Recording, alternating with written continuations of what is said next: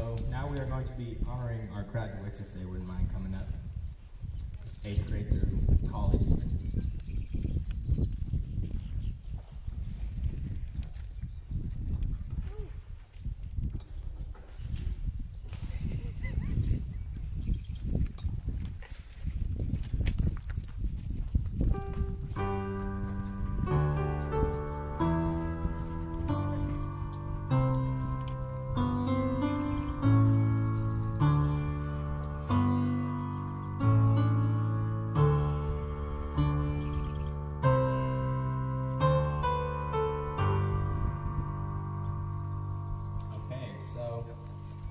We are going to say their names and then they're going to come up and receive a little gift from the church. First, we have Ashley Riebel. She is coming out of eighth grade.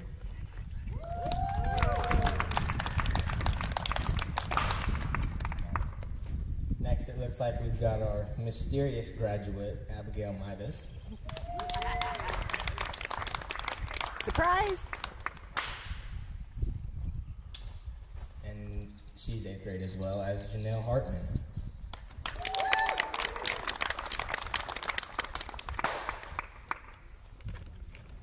And Kyrie Puckett from eighth grade as well.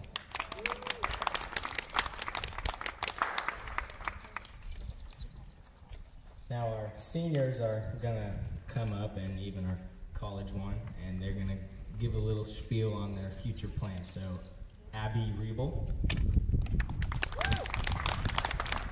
What do you plan on after high school? I am going to pursue a degree in business administration, organizational leadership, and youth ministry at Calvary University.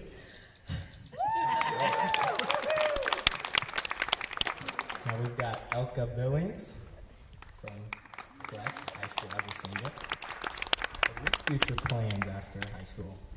Um, I will be running cross country and track and field at Allen Community College and plan on majoring in accounting. Now, our college graduate, Julie Hartman, is going to give a little bit of a spiel on her plans. Might be a little longer, so. Yes, it's going to be a little longer.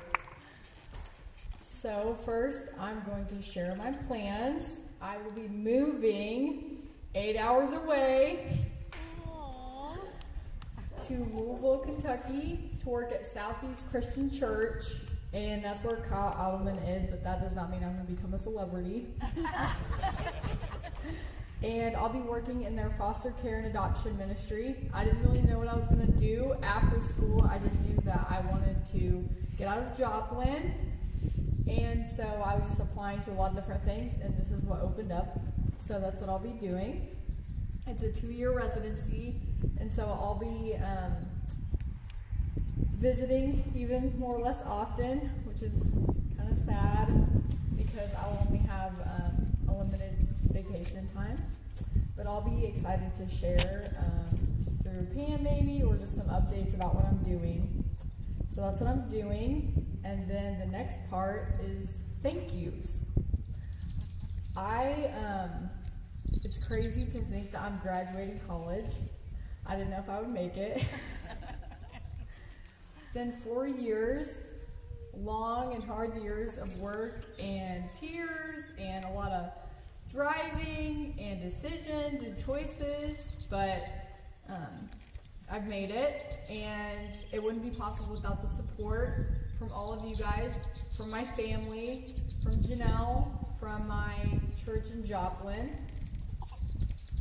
from some specific names I want to drop out here. Cindy McGee has been amazing in my life, and she has her and Darren sent me money through college. I know you guys have also helped me with missions trips and things like that. She's been there whenever I needed to call her about whatever, and to just talk to me and house me when I needed it, and help me know that I was going to get through this. So I'm very thankful for you.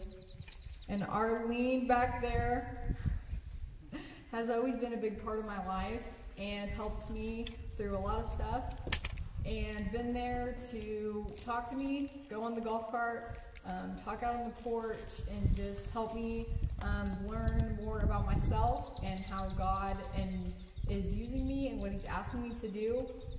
Um, also, the Riebel family, while I've been gone, I've been very thankful for how you've taken care of my family and that we have a youth group now that we didn't have when I was younger, and how Janelle has grown through that. I cannot thank you enough for that. And so I just wanted to thank you guys, and I love you so much, all of you, and how you have played a part in my journey, and even those people that aren't here today. And lastly, I think finally, after all these years, I know what I want to do. these two kids who didn't want to come up, which is fine, and their brother who's not here, have been my ministry the past two years. I have stepped in in a role that God has asked me to do in their family gladly and been a church mom figure, I guess, and loved on them. And they have taught me a lot about life and love and ministry. And so I think what God is asking me to do through this next phase of my life is to take care of the orphans and widows, as it talks about in James. He says, Religion that God our Father accepts as pure and faultless is this to look after orphans and widows in their distress and to keep oneself from being polluted by the world. So I don't know exactly you know what that's going to look like, but I know that that is what I'm passionate about. And I pray that you guys will keep praying for me and my family, but also to look for the orphans and widows where you are and take care of them because God loves them so much. So that's my spiel.